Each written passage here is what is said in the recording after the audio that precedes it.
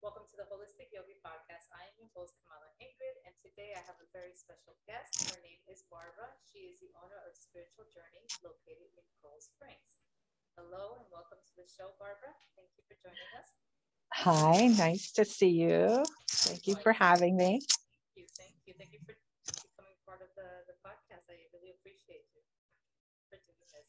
I wanted to ask um, everybody just to get to know you a little bit. If you let us know a little bit about your journey, um, how you got into this holistic lifestyle, and what brought you, what started you to where you are today. Um, it started back in the 1990s. Um, my mom came down with ALS, and um, I actually had a uh, psychic uh, Joseph Labruto. He came and he was doing a party at my house and he handed me a book. And in that book, he goes, You need to read it. And in the book, it, I don't know, it seemed like Reiki kept on popping off of the pages wow. at me. And I read that book. I, I, it must have been one day.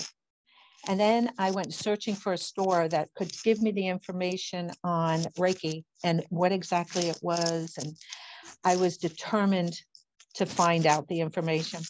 And I walked into this one store with uh, Dottie Riley in Pompano and um, asked her if she had any books. She said yes. And I said, okay, do you know anybody who's doing these classes? She says, well, a matter of fact, I'm having one this weekend. I said, sign me up. I'm here. And my journey started from there. And um, a couple of um, years after that, I got into a bad accident and um, I lost my memory. And I started working with uh, a shaman, Mona Rain. And I went to her three times a week for, God, it has to, had to be eight years and every day I, I had my mind set exactly what I wanted. And whenever I was in a session with her, my angels would come and they would say, You're going to have a center. And they would show me my center. And they would say, You will have this, and you will have all different types of healing modalities. And um, you, you're, you were going to have everything that you needed in one place. And then I found out what my purpose was. My purpose here is to awaken people to their purpose. And um, so I love when I teach my Reiki. I love when the students come in and their gifts are coming in and they're going, oh my God, this is what's happening, you know, and I can see the light in their faces. You know, I love it. I absolutely love it. And that's that's why I'm here. I'm here to awaken people. That's beautiful. What oh, was your I, first experience when you first tapped into Reiki? What was your first experience like? Uh, I don't have any idea of what we're talking about. The first time that I, the first class that I went into, I felt the energy so strong and I, I felt like I was going to explode. I, I wanted to expel the energy so much. So you know? bad, right? it was like somebody give me a body. I totally understand that feeling. I've had that feeling where I feel like there's so much heat where I need to go and put my hands on someone too. Right. And, and that's exactly what happened. But it was such a beautiful experience, you know. Um, I've learned so much over the years, and um, and I continue to learn. You know, it's not like I took Reiki and then I stopped. Um, I have probably 35 different modalities that I do. Um, I enjoy each and every one of them, but I'm here for one thing, and that is to teach my Reiki. That is to open up people, um, to help them on their journey to wherever they have to go. Um, at least I know that if somebody comes to me and says, "Okay, I I'm interested in this. Do you know anybody?" I can point them in the direction that they need to be, and that's all I have to do, really. You know.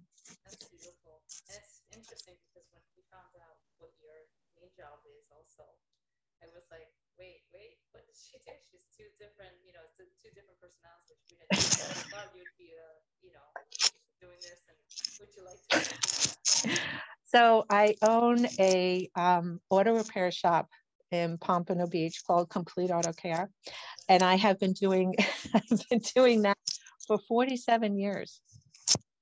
So um, yes, I have worked on cars myself, but um, not so much now. But I I know my way around.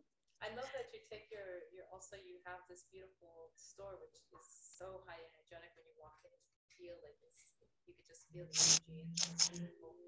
And I love what you said to us that day when we saw you um, was basically that most of the money that goes goes right back into your company and at the same Mhm. time you donate to two different foundations, correct?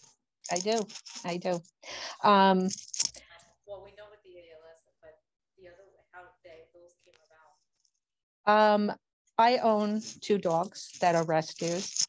And um, so rescues are a big part of me. And um, I came across um, a hundred plus abandoned dogs. Um, they had this one um, dog that was having a lot of problems. And it was a it was a box boxer, I think he was.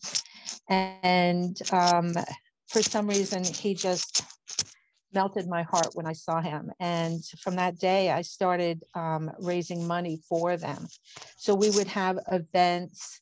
Um, all the proceeds, any donations for the Reiki circle that we hold uh, in the store goes to a hundred plus abandoned dogs. We have a donate button, button on our website where people can just go on and donate directly to them. Um, over the years, we have given um, probably close to thirteen thousand dollars to them uh, that we have raised. And, um, you know, I just, I think that they're doing amazing work. And, you know, I try to help them as much as I can. And uh, the same with ALS. ALS has a big part of my heart because of my mom. Um, her foundation um, is the Ellie Reynolds ALS Foundation. Um, and um, every year we have um, golf outings and all different types of, of, of events to help raise money for that. Um, we go to people's houses with that and put up ramps when they need, um, because a lot of people with ALS get stuck in their houses because they can't get through the front door. So we'll put the ramps up so they can get in and out, uh, get them things that they need, redo bathrooms, whatever they need. Um, the money goes for that. Um, so, you know, it's, there's two charities that, you know, are a really big part of my life. So, I love that. And tell me, what, now that you're here, what are some of the things that you want, like some passion projects you want to do moving forward? What are some things you have, I mean, besides, teaching, what are some of those passion projects you might have? you know, I am, I am so happy at what I do right now. You know, um, I really would like to get more people in to teach more of their, you know, the modalities that they do to help my students that I have taught already um, on their journey because, you know, there's so much out there to learn. There's so many different modalities to learn. And each one, if you really think about it, you can work them all together. I mean, there is there's times that, you know, when a client comes on my bed, um, mine is a healing session because I combine a lot of my healings together. And I try to give that person what they need at that time. You know, I just don't say, okay, well, hey, I do Reiki, so here I'm going to stop here. No, you'll get what you need during that session. Whatever the person is, is required. That's right. Beautiful. I love that. We're very, we're very, we relate to each other in. I'm like, I'm the same. You know, every person is very different from me and, and my modalities what I do and teach based on what I see. I do the Uh-huh. same thing. And one of the things I wanted to talk to you about and talk a little bit about because I, the last time we, we spoke, we had very much, very similar way of thinking and I'm very big when it comes to healers, I is like ourselves and people that have that ability to heal, but are not quite ready. So I think it's important for them to go ahead and seek people that are and have, What would you recommend them? What would be some of the recommendations for them to do to work on themselves? Because I feel like there are some out there that still are in cross roads of still stuck to some things in the past that they can't seem to move forward in you know, it's funny because when people come into the center, they'll come in and they'll say, I have no clue why I'm here. Interesting. That's the first words out of their mouth. I have no clue why I'm here, you know?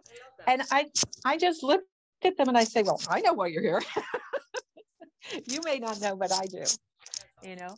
Um, you know, and then when you sit down and you start to talk to them and you really, you really listen, you know? Um, and that's, that's the key. You just have to listen to them. And then all of a sudden it's like, oh my God, I love it here. I need to do something.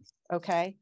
And I, I do always start off with Reiki because I feel that that opens everyone up. And, um, but the timing has to be right for them. So when you walk through that door, that's the first step on their journey. That's all they had to do. After that, the doors open up and say, okay, well, you can pick this, you can pick this, you can go here, you know, but most of them just sit and they'll, they'll be in three or four times and they talk and then they're ready. And then they start knowing, it, comes to them. Yeah. And, um, what are the things that you, uh, that you are now looking forward to doing with your store? Um, what are the things you want to bring into your store also? Ah, okay. So we have your event coming up, which I'm really, really excited about. Um, I really wanted to bring in meditation and sound healing and um, breath work. And I mean, I just want, these are things that everybody should know how to do. And, and it just feeds the soul.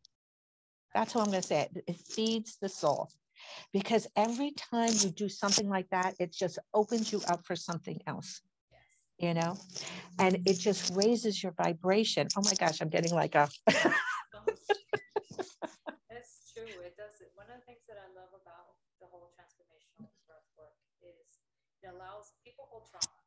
You know, we've Uh-huh. all been traumatized at some point in our lives in, different ways, different modalities, some more than others. Some are just an event that maybe might not traumatize you, but it, it did something. To them, you know? So Right. it- it- you know, there's just all different types of levels of trauma. And we tend to hold it in our hips, our largest joints in our body.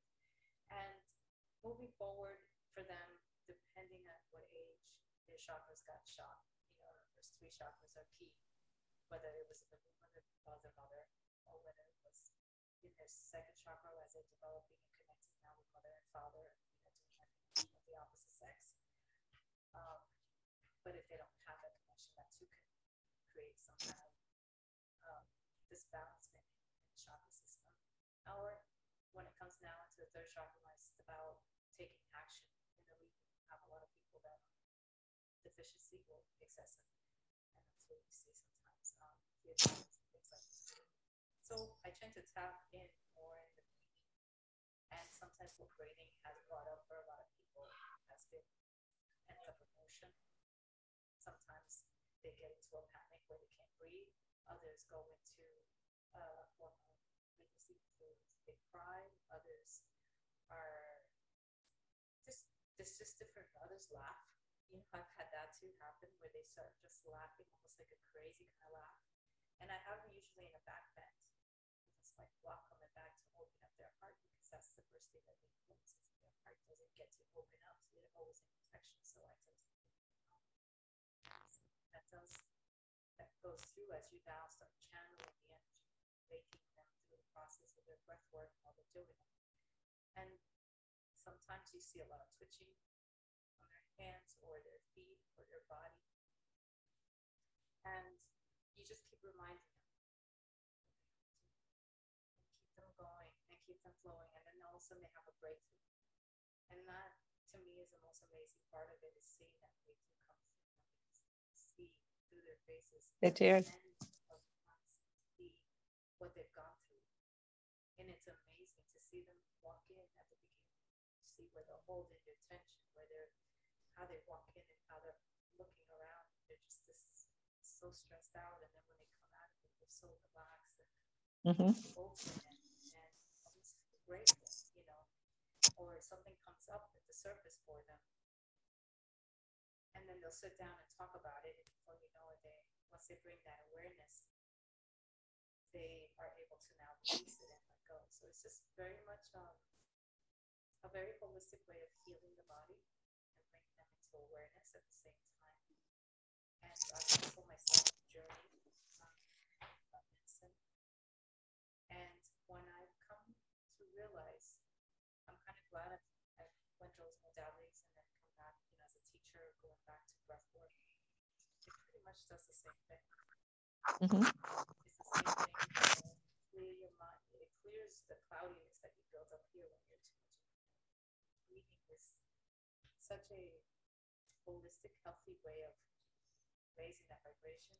If you know how to use it, you know, teach your students how to use it. Yeah. Because it's incredible how much we become shallow breathers over the course of the years based on our lifestyle or that happen that cause you to just. Oh, yeah. I'm a very, I'm a very shallow breather, and that's because I work at the repair shop. All right, so I don't breathe real heavy while I'm there because of the fact of the toxins and the smells and everything else that's around there. So I breathe very, very light. But when I do my energy healing, I am breathing heavy. I do deep breaths and I open and and I can feel the difference then. right? It's, Yeah. It's amazing. I, my experiences with that many years ago when I was diving into it, I remember, um, it's, it was hard at the time, you know, when I was first in my experience because I had so much stuff that I was going through at the time and, and trying to understand and what was happening. But I can remember feeling that experience in my body and trying to to listen to the, the teacher at the time, coach you through it, and then to stay in tune with that same breathing technique was very hard for me at first. You know, Yeah. now it's not a problem, but at the time it was so hard because Oh, it's very difficult. It very is. It really is. it's like- it.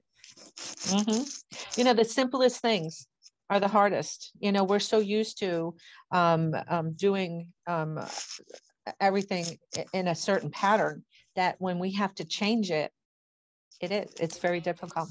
Shifting that is, it's, it, was a difficult a challenge, but I, at the end, I remember the experience I had and, um, it was amazing, you know, and I, and I felt like floaty for a few days, you know. Uh-huh. Like, wow, that's when I had that experience of that feeling.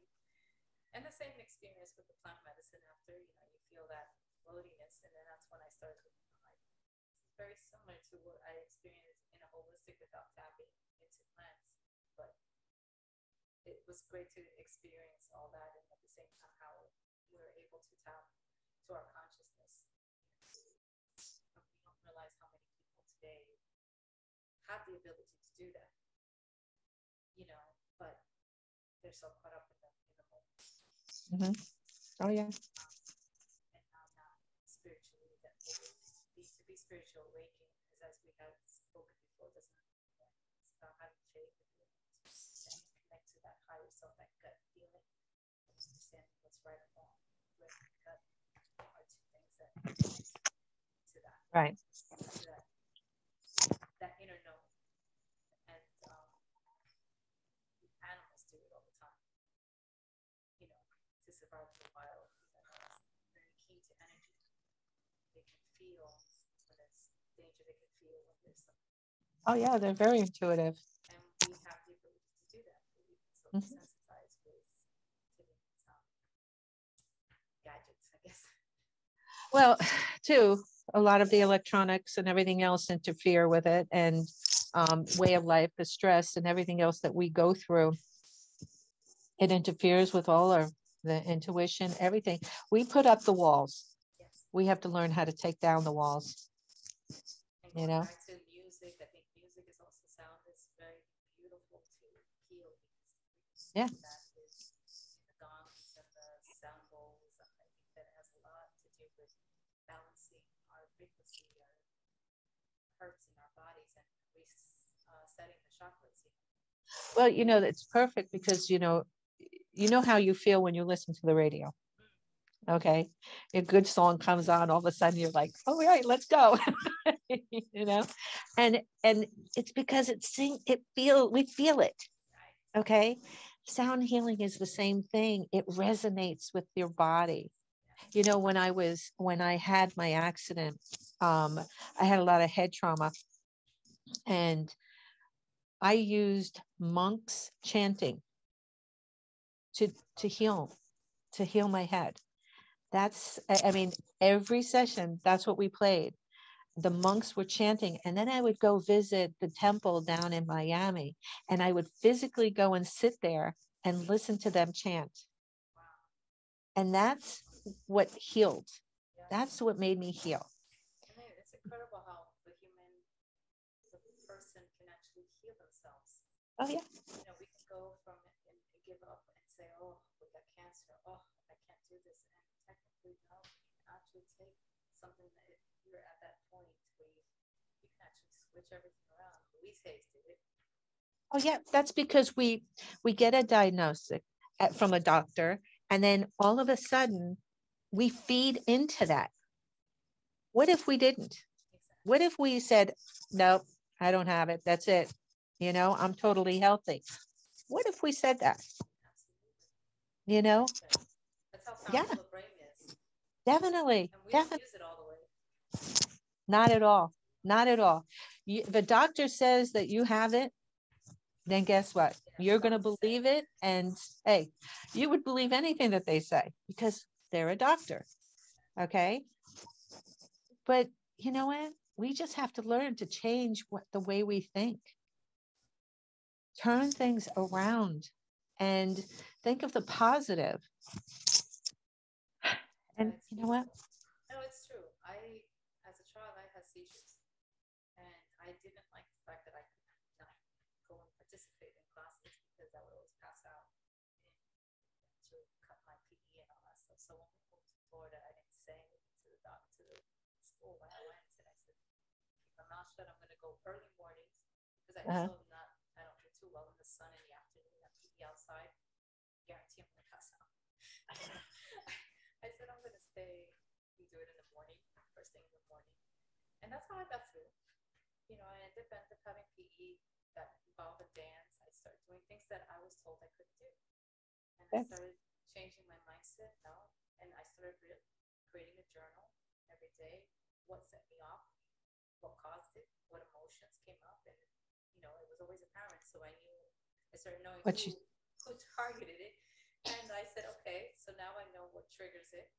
Uh-huh. And I learned to just slowly, over the course of time, I started that at nine.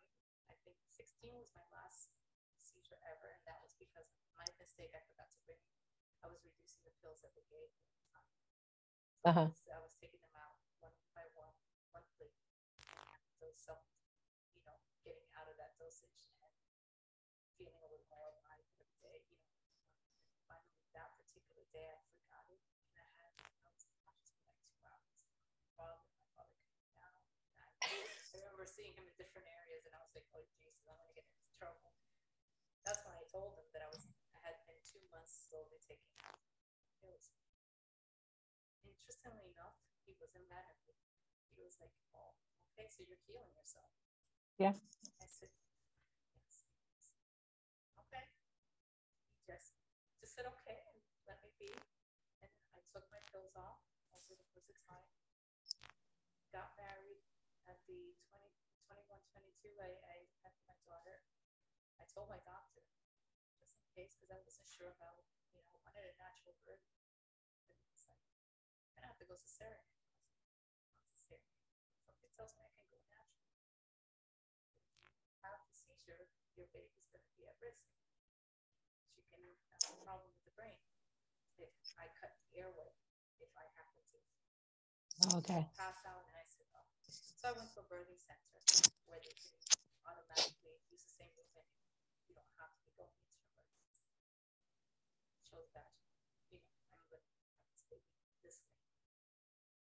prayed, and I had faith in my angels, and I said, "Damn it." Lo and behold, I had the most natural, beautiful birth, and I Nice. that was done. That's when I knew my past was my past. The seizure against esteem was the last one I ever had, and that's when I said that this that mindset, those traumas that we that we, we hold on to, I let I let them go over the period of time. From the nine that I started having my first one until the time I was sixteen, I was like, I don't want this. I created that pattern of eliminating thoughts, figuring out where it came from, and no one told me how to do that. So that was the beauty of it. I learned to self understand my body and Mhm. understand what triggered them emotions, and I think that that's what led me to to help with physical natural healing of energy, breath, weight, uh, sound, everything that has to do with a holistic way of healing the mind and body. That's beautiful. It's, just amazing. So I believe, you know, when you told me about your car accident, most people will give up and be saying, "Oh, I have a headache," you know, keep living with the headache. Instead, you did it through sound. You healed your mind. Your, you know. Yeah, that's- the old, and it's funny because every once in a while there'll be a word that I can't say, and it's so funny because I know the word. I'm looking at the word, but I can't connect it from the head to the mouth. to- yeah, to- to you know and it's and it's it's really it's very very frustrating but um anybody that comes in here knows about you know the the head injury that i had and they know you know that sometimes i'll try to say it it's just not coming out okay? And um but i've learned to laugh about it and i don't let it bother me. And i just you know go on teaching and doing everything else that i'm supposed to be doing just the way i want to do it you know i said one day i'm going to be able to say these words It's okay. It's You know? okay. I get the same way. I mean, I'm, I'm kind of similar to you because of what happened to me. It, it has a lot to do with my left lobe. You know, it, it's something that um, doctors told me I had a. Affected my central nervous system, so that's how I Yeah. the yoga. The yoga is something that helped me create balance, and I do a lot of balancing poses purposely for that. have you tried uh, cranial sacral I tried it uh, many years ago. I did try it. I remember Uh-huh. had my house. It is beautiful. I love that. But I was only one person. After that, I have not found another person that does it. I lost. i'm going to tell you mona rain does the best. Cranial sacral oh yeah she that's what she used to do on my on me all the time and i have yet to find anybody else that Yeah. does it the find them. same way she's amazing Yeah, you don't find them. I, I only found that one person, and I think I tapped into that person. It came through an event I was doing, I think at the time, and then I brought them over at the time when I was teaching in my, my studio there, and I did a workshop with him, and I had a good s- set of people coming in, but I don't know, we lost contact after that, and I don't know what happened. i'll give you her name But that's it. They're not that many people. It's not No. well. it really isn't No. no and and she she you know i love the way she does it um first of all she works with as a shaman she's never worked with angels before but she does now Oh, that's her? She does it. that's well she does now um, because of me um when they when she first started working with me my angels were very very protective of me and they would not let her anywhere near me. Um, i had to tell them it was okay that she was only trying to help and um, they slowly started letting her in and then they started working with her and actually telling her what i needed. And it was amazing because not only did I learn about my angels and what they could do, and um, but I was learning about shamanism at the same time, and I started getting into all of that, and I was like, oh my gosh, you know, um, it, it it's it was the journey that I have been on has been amazing, And everything that I have learned, and every person that I have met on that journey came in for a reason. They were either teaching me something or I was learning, you know, a, a lesson, you know. So it's been it's been quite quite a journey. I love That- that. That's a beautiful story. That's Yeah, really it- I want to talk a little bit about our event that's coming up at March 5th. We will post it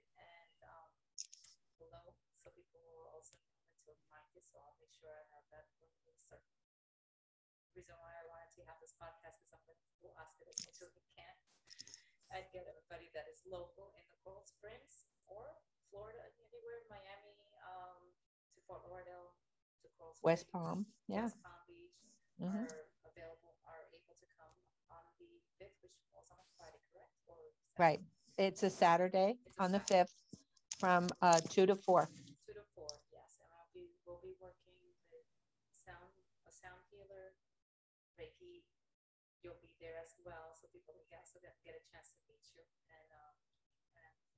Myself as well. So I'll be taking you guys through um, beautiful ceremony where we open the cacao.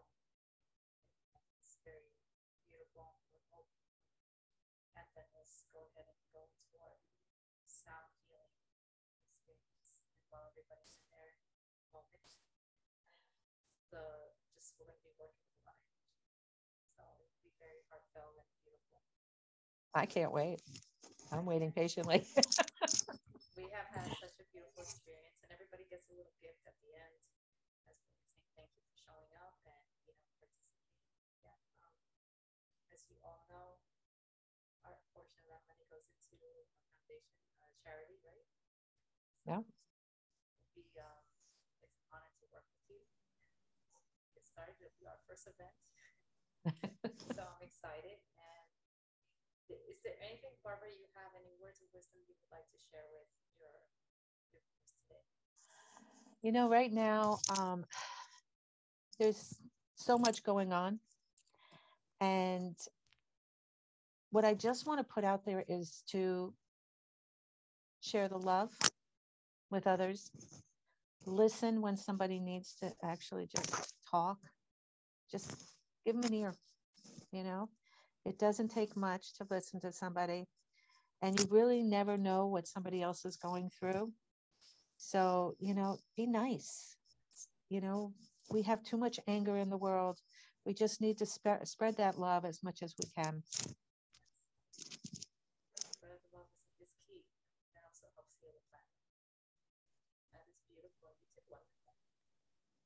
Thank you. So love- we're gonna end up closing this session right now, and I want to thank all my viewers. Thank you so much for being participating and also being um, following me. And please like and subscribe for those that are my YouTube followers, my Anchor and my Spotify. You guys will also be able to um, sponsor yourselves. You know, any anything, any donation will help as well to keep going. And I want to say thank you so much, Barbara, for joining us today. Uh, thank you for having us. We will have also your information at the, at the bottom of the link, so that way anybody that wants to go ahead and reach directly to you or come to your store has the opportunity to do so. Awesome. Thank you. Thank you guys. And until next time.